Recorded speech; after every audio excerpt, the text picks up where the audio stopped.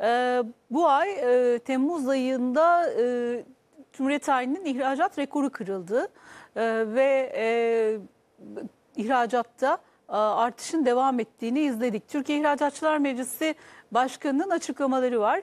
Ee, Rıfat Fırat'ın röportajlarını getirelim ekranınıza. Türkiye Temmuz ayında 22.5 milyar dolarlık ihracat gerçekleştirdi. Şimdi detaylarını konuşacağız. Yanımızda Türkiye İhracatçılar Meclisi Başkanı Mustafa Gültepe var. Hoş geldiniz diyelim öncelikle. Efendim hoş geldin. Efendim sağ olun teşekkür ederiz. Siz de hoş geldiniz. Teşekkür ederiz. Ee, tabii Haziran'da bayram etkisiyle eksi yazılmıştı. Ee, Temmuz'da da yıllık bazda e, 13.8'lik bir artış yazıldı. Öncelikle nasıl değerlendiriyorsunuz efendim? Bununla başlayalım. Evet. Öncelikle e, güzel bir artış oldu. Bütün sektörle Türkiye'mize hayırlı olmasını temenni ediyorum. Tabii e, Temmuz ayında e, şunu da söylemekte fayda var. E, takvim etkisi de var. İki gün biraz fazla çalışma var.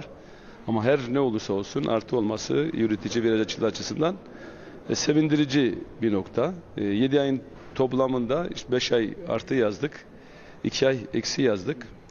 Ortalamaya bakınca e, yüzde 3'e yakın bir e, artışımız var. Yüzde 3.4 içeris- iç- e, 12 aylık süreç içerisinde. Ama tabii bu en azından orta vadede ortaya koymuş olduğumuz yüzde 5'in altında overall'da bizim istemiş olduğumuz toplamda minimum yüzde 10'un üzerinde bir artış sağlamak.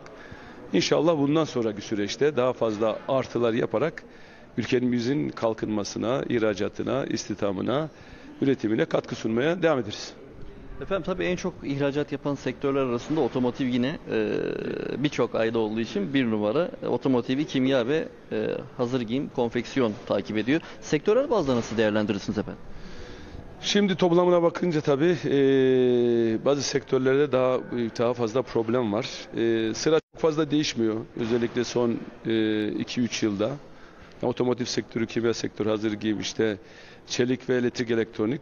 E, kimya sektörü işte arada bir birinciliği alıyor ama toplamda genelde bir değişmiyor.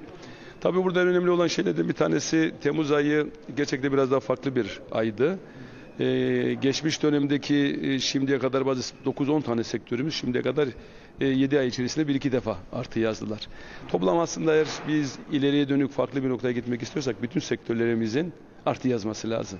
Çünkü bazı sektörler çok fazla eksi yazınca bazı sektörlerin artılar özellikle otomotiv ve kimya sektörünün %5'ler ya da %7'ler civarında artı yazması rakamları da yüksek olduğu için toplamda bir artı var. Ama önemli olan diğer 27 sektörümüzün de bence hepimizin hep beraber artı yazması gerekiyor. E burada önemli şeylerden bir tanesi de biliyorsunuz gittikçe Türkiye'nin rekabet gücünün daha fazla kaybetmesi önümüzdeki dönemdeki alabilecek olduğumuz siparişlerde olumsuz yönde etkiliyor. Bütün mü- mücadelemiz e, bu olumsuzluk e, nedenlerini ortadan kaldırabilmek, hamlelerin bir an önce e, yapılması gerektiğini düşünüyorum. Efendim ithalatta da 2.6 milyar dolarlık bir azalma e, söz konusu. Dikkatimi çekenler arasında yine dış ticaret açığı tarafında e, 2023 Temmuz'una göre azalma var. İhracatın ithalatı karşılama oranına da vurgu yaptı Bakan Bey. E, yorumunuzu almak isterim ben bu konuda. Ya tabii amaç buradaki önemli şeyde bir tanesi kendine yetin bir ülke ve ihracatı artırmak. E, son dönemlerde özellikle e, enerji kalemlerde ve farklı sektörlerdeki e, ithalatların düşmesi toplamdaki cari açığa olumlu yönde etkiliyor. E, ihracatın ithalatı karşılama oranı, ithalatın ihracatı karşılama oranında yukarıya doğru bir artış var. Dedim ki ya bunlar yüzde yetmiş, işte Temmuz ayı itibariyle yüzde yetmiş beş. Amacımız en az bunları yüzde seksen beş, yüzde doksana çıkarmak. Hep beraber bu neyle yap- yapmalıyız? Az önce söyledim. Üretimi çok daha fazla artırmalıyız. Eğer üretimi çok daha fazla bence arttırırsak ve yatırımları ona göre en fazla cari açık verdiğimiz sektörlere doğru yönlendirirsek bence çok daha kısa zaman içerisinde çok daha az cari açık veren bir ülke haline gelmiş oluruz diye düşünüyorum.